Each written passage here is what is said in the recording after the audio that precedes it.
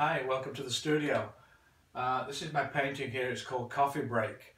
Uh, as you can see, it's an old delivery truck, a, a, coffee delivery truck that stopped suddenly because of the donut in the way and everything is just moving and flying in all directions.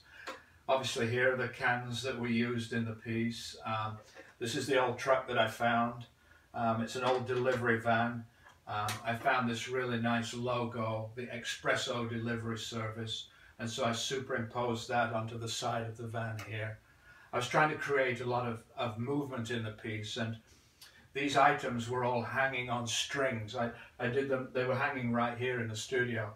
I had them hanging on strings and it seemed as though every time somebody came in the studio or the air conditioning went on, my props would start moving.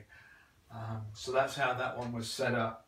And of course, the, the, the final ingredient in the piece um, I went to the store last night and I picked up a dozen donuts and I noticed now that uh, when I open the lid there's one or two missing. I'm not sure how that happens. So on that note I'm going to choose a nice donut. Take my coffee cup here and I'm going to take a coffee break.